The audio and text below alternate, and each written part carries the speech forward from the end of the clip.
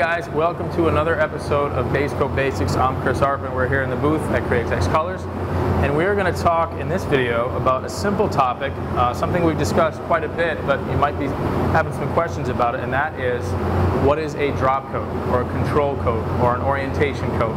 Um, we're going to cover all that. It's all different words basically to say the same thing, and that is a way to make your last coat of metallic or pearl look nice and even without any mottling or any kind of blotch, just nice and even consistent. So I just finished putting the last coat of our silver sealer on this little hood. We're going to let this dry up, and I'm actually going to use our 4103 uh, coarse aluminum uh, to demonstrate this process. Um, the reason I'm going to use the coarse is it's a little more difficult to spray the coarse because there is just a flake.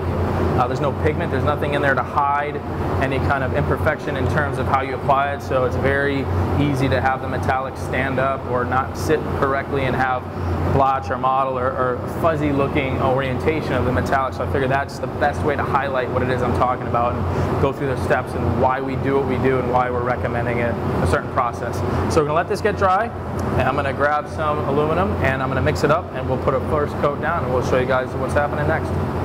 Okay guys, we're back. Our silver sealer is all dry. It's been about 15 minutes. Uh, it's dry to the touch, nice. I have my 4103 uh, coarse aluminum mixed up and I'm going to put one coat down. We're going to let that dry, and then what I'll do is I'm actually going to tape a line in the dead center of this panel, and I'm going to end up doing my drop coat on that other portion so we can see the difference. But this is going to be just a regular coat, 50% overlap, just like I would spray any of my base coat colors, so we'll see the comparison between that and a, and a drop coat.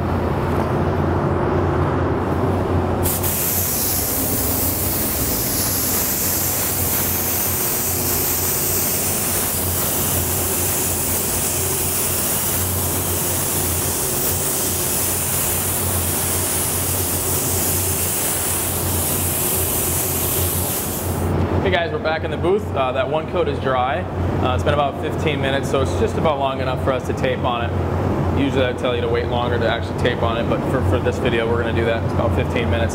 Um, this actually looks really good with one, one coat. Um, hopefully it'll demonstrate the difference in the drop coat, but it kind of points me back to a little side note in terms of what I had for a ground coat on this. I had our silver sealer. So again, we, we reiterate how important that is in a lot of our videos in terms of matching your ground coat to what your base coat color for your coverage coat is going to be. So the less material you have to put on, the better, the faster your dry times are going to be, and, and, the better the results are going to be. So even as we speak here with one coat of coarse aluminum, maybe go and do a second coat, and I would call that done, and I'm not stacking the metallic, which it's more of an issue when you're spraying pearls and metallics. You start building up that flake or building up that pearl, and you start creating this uneven surface texture, and the more you put on, the worse it gets. It doesn't go away. So it's just a little side note in terms of color keying with your sealer. This looks really good. So what I'm going to do is I'm going to tape a line. We'll go across the panel this way.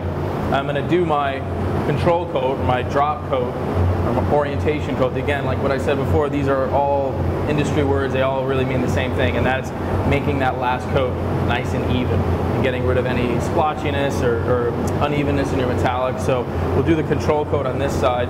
And the way the control coat works is it is a drop in air pressure. So you're going to double your distance off your panel. So typically I'm right around 8 inches or so off the panel when I spray. I try to be.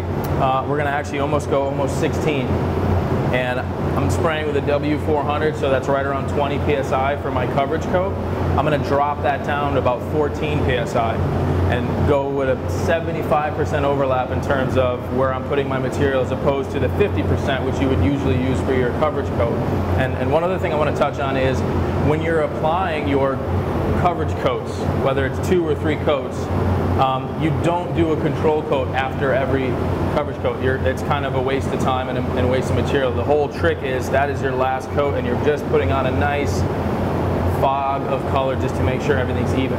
So it's a wasted step if you're putting a coat on and then doing a, trying to get your metallic to look right by the time you hit your second coat. I mean, you should always try to make it nice and even, but don't be super concerned if you see a little bit of a a little blotchiness or striping because that's what that last coverage, your control coat is there to do. That's what you're trying to achieve with that coverage coat. So I'm going to tape a line on this. I'm going to grab my gun. It's the same paint. I mix it the same way. There's no difference in reduction or adding anything. It's the exact same paint. It's just a drop in air pressure at your gun. So we're going to get this going.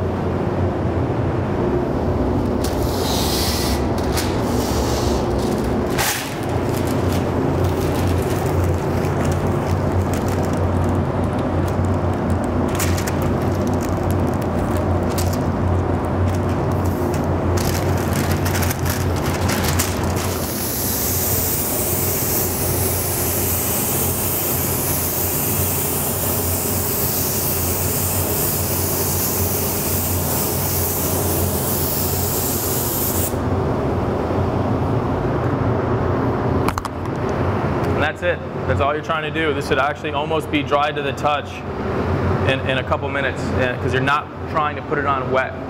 It's the exact opposite of getting your coverage coat. So we'll check this out when it's dry. We'll pull the tape off and we'll see, we'll do a side-by-side comparison and see what it looks like. Okay guys, we're back. The drop coat is dry. Like I said, it only takes a couple minutes for this to dry because you're, you're not trying to pound on a coat of metallic. It's just that you saw a nice light coat. So we're gonna untape this and hopefully uh, it shows well on camera. We'll see. I might have to move this so you guys get a, a better angle on it, but you should be able to see the difference in color. I can see it here in the booth. It actually has a little bit more of a, a velvet appearance. It's got a smooth, smooth finish to it. So we'll see. Maybe I can move this a little bit so you guys can catch the angle. I'm not quite sure if you guys can see that at all. It should actually, at a side cast, it looks a little bit darker, but square on, it actually has a little bit lighter appearance, and, and that's, that's fine, that's totally fine. But what we're trying to do, again, is just even out the metallic. So this side I can see there's a little bit of, on the side I really see it. Square on it's not so bad, but on the side I can see through here and it has just a little bit of real, real small mottling. And this side here, that's totally gone. And again, that's, that's what we're trying to achieve. So one thing that you got to keep in mind is if you do this on one part of your project, you have to repeat that process on everything because this will actually slightly change the color, but it is actually a good way to keep everything consistent. So if you're painting parts separately, as long as you go back to this as your last step, it's going to help keep everything the same in terms of color. So even if you used a different gun, you sprayed a different uh, reduction or different air pressure, going back to this as your last step will help tie everything together and make sure everything's even and consistent. So we'll see one more time. We'll see if I can just get a little tilt on here, and see if you can see what it is that we're talking about. It's not going to be in your face. It's very subtle, but it is enough that it makes a big difference in terms of the way that metallic looks. And, and one more thing too I want to touch on is you, when you run your hand over this, this all sounds the same.